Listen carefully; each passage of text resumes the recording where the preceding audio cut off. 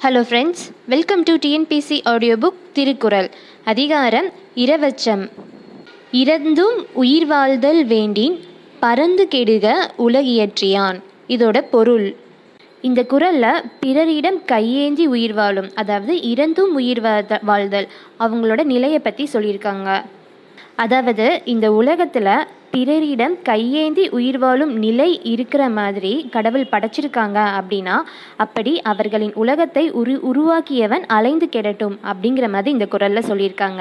அதை தான் முதல் லைனில் இருந்தும் உயிர் வாழ்தல் வேண்டி அதாவது பிறரிடம் கையேந்தி உயிர் வாழும் நிலை இருக்கும் எனில் அடுத்த லைனில் பறந்து கெடுக உலகியற்றியான். அதாவது அப்படி அவர்களின் உலகத்தை உருவாக்கியவன் அலைந்து கெடட்டும் அப்படின்னு சொல்லியிருக்காங்க. மறுபடியும் சொல்கிறேன் இறந்தும் உயிர் வாழ்தல் வேண்டின் பறந்து கெடுக உலகியற்றியான். அடுத்து இரவென்னும் ஏமாப்பில் தோணி கரவென்னும் பார்த்தாக்க பக்குவிடும். இதோட பொருள்.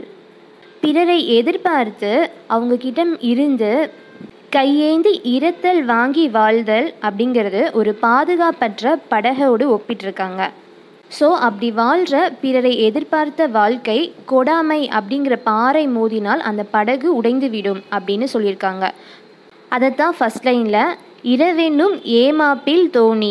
அதாவது பிறரை எதிர்பார்த்து இரத்து வாழ்தல் என்னும் பாதுகாப்பற்ற படகு அடுத்த லைனில் கரவெனும் பார்தாக்க பக்குவிடும். அதாவது கொடாமை என்னும் பாறை மோதினால் உடைந்துவிடும்.